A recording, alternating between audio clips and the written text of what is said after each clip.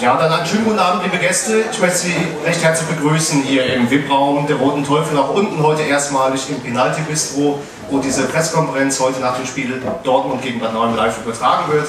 Ich möchte recht herzlich beide Coaches hier vorne begrüßen, Frank Gentges von den Dortmunder Elchen, auch unseren Trainer, den Fred Carroll. Aber zunächst der Kommentar an den Gästetrainer. Ja, Frank, ich denke, optimaler Auftakt natürlich für euch. Ähm, was hat heute den Unterschied ausgemacht? Äh, das längere Training, ihr wart ja schon sehr früh in die Saison gestartet, die größere Erfahrung, ich meine, trotzdem mit drei Toren ist natürlich auch nicht zu verachten, oder wie hast du das Spiel insgesamt gesehen? Ja, guten Abend erstmal. Klar, ich bin, äh, wir sind alle sehr zufrieden heute. Das ist, wir haben zwar ein paar Wochen länger trainiert als äh, Nauheim, wir haben es dann auch äh, hart erarbeitet. Wir gehen ja nicht aufs Eis, hat ja bei uns einen Grund, warum wir lange trainieren. Es muss ja irgendwas äh, herauskommen bei der ganzen Geschichte. Und äh, wenn du dann ein erstes Spiel gewinnst, denke ich, dann hast du alles richtig gemacht. Wir haben auch äh, fünf starke äh, Mannschaften in Vorbereitung gehabt. Aus der holländischen Elite-Serie drei Top-Mannschaften. Die haben alle Spiele gewonnen.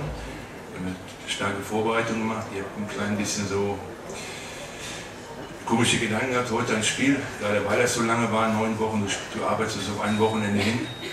Aber dann denke ich, heute sind wir gut ins Spiel reingekommen und ich denke, im Endeffekt haben wir dann auch verdient gewonnen. Äh, wenn du 2-0 vorne bist, dann haben wir eine kleine Phase gehabt, haben Nauer nochmal auf 2-2 rankommen lassen und dann habe ich mir gewünscht, heute nicht Kabinenansprache zu machen, wie es heute vorgekommen ist. Die hatte ich eigentlich für den dritte, vierte Wochenende aufgehoben.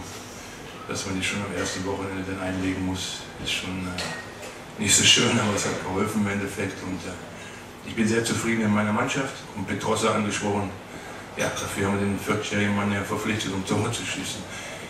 Schlittschuh laufen und körperlich ist da nicht mehr viel zu machen, aber der weiß halt, wo das Tor steht. Und das hat er den jungen Spielern dann äh, voraus. Nichtsdestotrotz haben unsere ganz jungen Verteidiger und denen gebührt heute ein extra Lob. Dieter Wohndorz mit 18, 19 Jahren, Klusen mit 18 Jahren.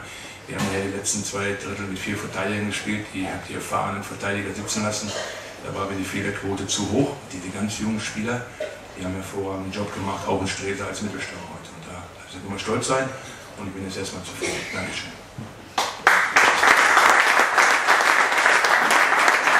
Dankeschön, Frank Genkes. Ja, Fred, heute auch einige Spieler nicht dabei. Lenny Gers, deutscher Pass leider auch noch nicht. War das heute das große Manko oder hast du es doch irgendwie anders gesehen?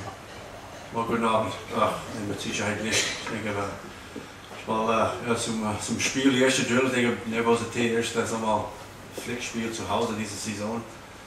Äh, haben das gut, ja, gut bedient nach der ersten Drill. Zweiten Drill haben wir ein bisschen mehr sagen Selbstvertrauen gefühlt. Die Nervosität war weg. Wir hatten nach 2-0 2-2 geschafft.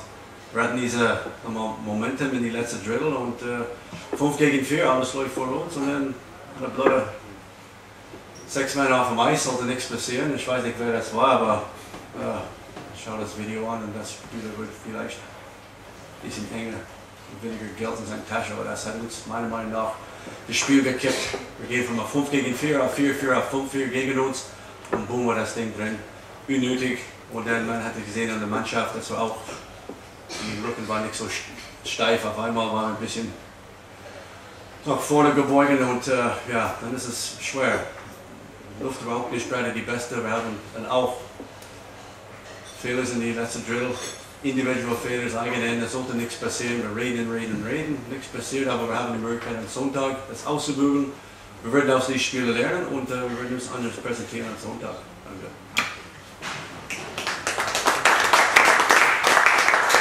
Ja, Dankeschön, Fred, für deinen Kommentar. Dann kommen wir direkt zu den Fragen der Presse.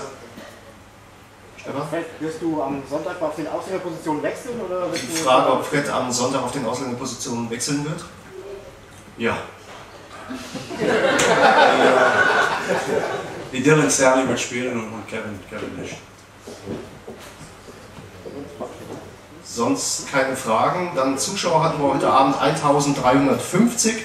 Wir haben noch ein paar Ergebnisse, und zwar Endergebnis aus Frankfurt gegen Kassel 2 zu 3, also die Huskies gewinnen. Huskies gewinnen das Hessen-Derby. Kurz vor Schluss steht es bei Königsborn gegen Krefeld 5 zu 4 und Rating gegen Hamm 2 zu 2. Das Spiel Essen gegen Duisburg ist abgesagt worden. Offizielle Stellungnahme war, dass Essen keine Ausrüstung zur Verfügung hatte, weil die entweder zerstört oder geklaut worden wäre im Essen Eisstadion. So steht es hier jedenfalls in diesem Ticker. Kann man vielleicht morgen noch in der Presse genauer nachlesen. Ja, okay, dann bedanke ich mich bei beiden Trainern, wünsche unseren Gästen einen guten Nachhauseweg nach Dortmund. Wir sehen uns ja am Sonntag dann schon wieder an der Strobelallee, dort um 19 Uhr das Spiel der ERC Dortmund gegen EC Bad Nauheim. Unser nächstes Heimspiel ist dann nächste Woche Freitag hier um 19.30 Uhr gegen die Hammer Eisbären. Und wir würden uns natürlich freuen, Sie hier alle wieder begrüßen zu dürfen. Dankeschön für Ihre Aufmerksamkeit. Haben Sie ein schönes Wochenende, ein langes mit dem Feiertag am Montag und bis nächsten Freitag dann. Dankeschön. Bis dahin. Ciao.